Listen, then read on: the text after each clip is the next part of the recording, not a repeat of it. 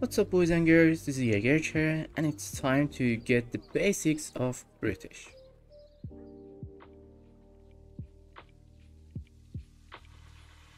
Firstly, in terms of the civilization bonus, the British houses are called the manor houses and they cost 25 more wood in comparison to the typical house of the European civilization.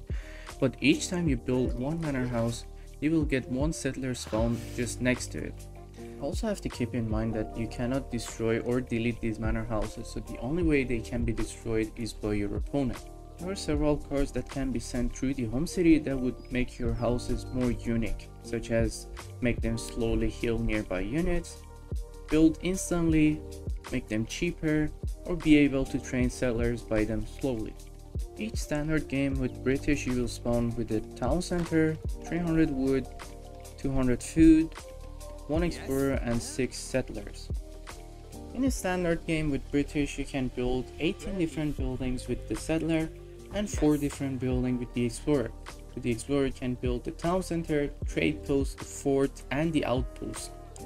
And as for the settler, you can build the outpost, town center, barracks, stable, artillery foundry, tavern, the church, manor houses, market, the mill, which is your infinite source of food, the estate or the plantation, which is your infinite source of coin, capital, which you can build and upgrade your capital upgrades post imperial, livestock pen, which can be used to train livestock animals, which for the case of British, they can train the cows by sending a card through the home city shipment and also train the sheep and can be used to fatten these livestock animal faster and got the arsenal which can be used to boost your military units even further by taking the arsenal upgrades, the walls and the native embassy and finally the dock can be used to build in the water maps to train the naval units. Other than the buildings that you can build with your explorer and the settler,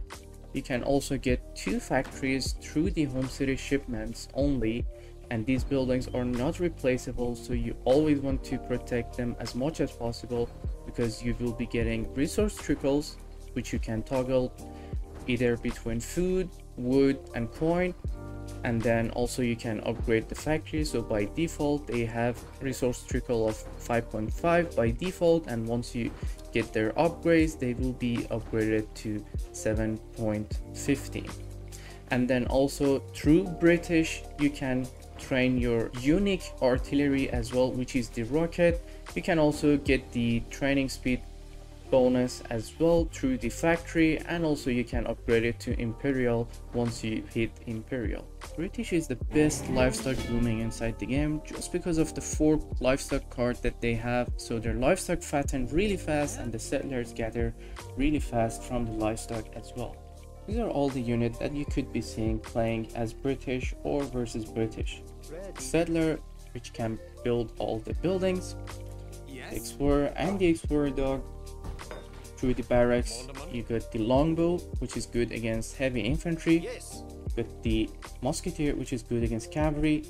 The pikeman which is good at sieging with high siege damage and also good against cavalry through the stable got yes. the hussar which is a heavy cavalry that is strong against rifle unit and archer type aka known as light infantry and also good against artilleries and the dragoon which is a range cavalry that is strong against heavy cavalry and artilleries and through the artillery foundry can train yes. the grenadier which is strong against infantry and sieging buildings Ready. The falconet which is good against infantry and sieging. The mortar that is only meant to siege. Ready. the culverin that is good against artilleries. Ready. the horse artillery that is strong against infantry. The petars that are strong against buildings and it's a suicide unit. And the rockets that as I've explained earlier you will be getting only through the factory and the home city shipment points and it's good against infantry and through the church you can train two different units which is the priest which is your healer that can heal nearby units. And also the spy which is good against mercenaries and also explorers. And also by sending card through the home city shipment you will be also able to train the Ronins through the tavern. And these are some of the unique mercenaries and units or native units that you can send through the home city shipment point only. So the Elmaros, which is a heavy cavalry, Jat Lancer, which is a heavy cavalry just like the Elmaro, and Hussar, is strong against infantries and artilleries. The Arquebusier, which is a heavy range cavalry that just have a really strong melee and range attack, and the range attack has a splash as well. Yeah. The Totenkopf Hussar, which is a really strong native unit that doesn't require any population and also has a really strong charge attack. The Jaeger, the Rifleman, which both of these units are strong against heavy infantry. The Zouave, which is a really strong infantry that has a really high HP and high resistance with high damage. The Drummer, which is really good to keep next to nearby units to boost their movement speed and attack speed.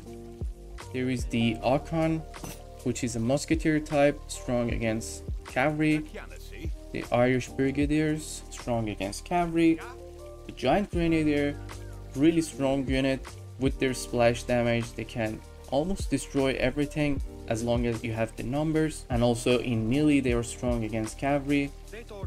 The highlander which is also another musketeer type unit which is also strong against cavalries. The swiss pike which is just like the regular pike but with better stats. It is good at sieging and also good at countering cavalry. And also you can send the sergeant through the home city which can build the field hospital and also heal nearby units.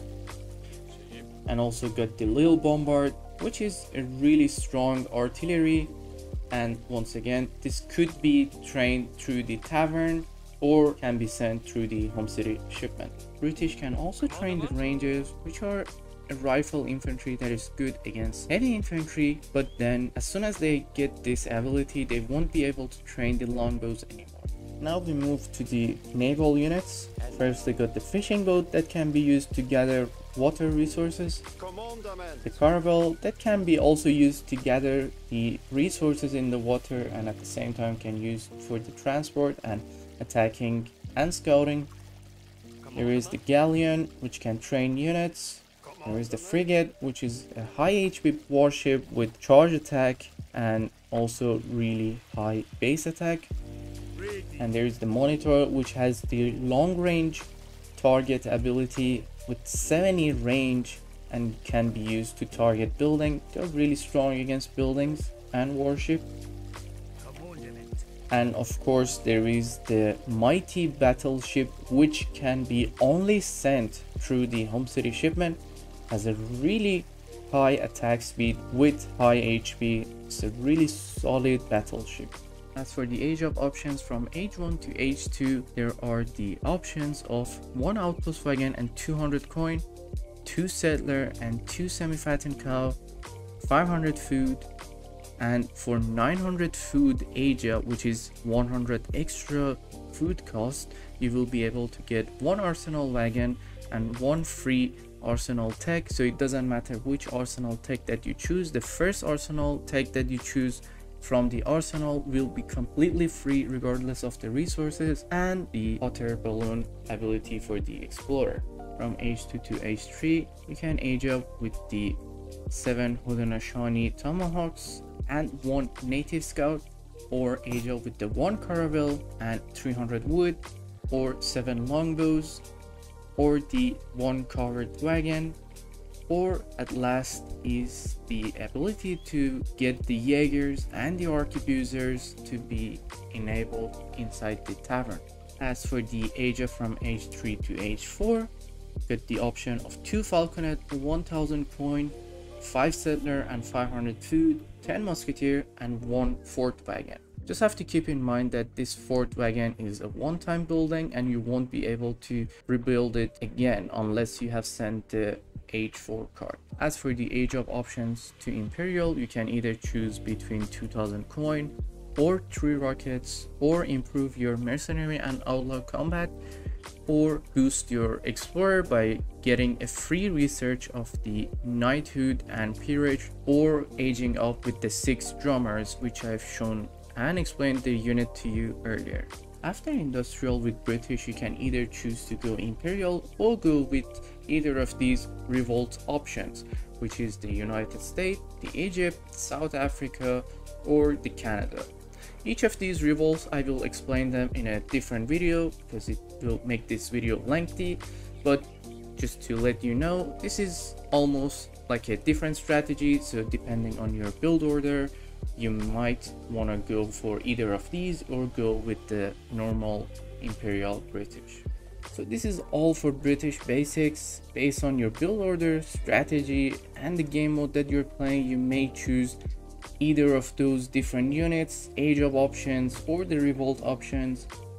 And if you enjoyed the video, make sure to hit like and subscribe so I will be encouraged to do more of these videos for the other civilization. And if you have any question, make sure to drop a comment in the comment section below. I will be answering all of the comments as soon as possible. So as usual, I hope you enjoyed the video and stay safe, have fun, and goodbye.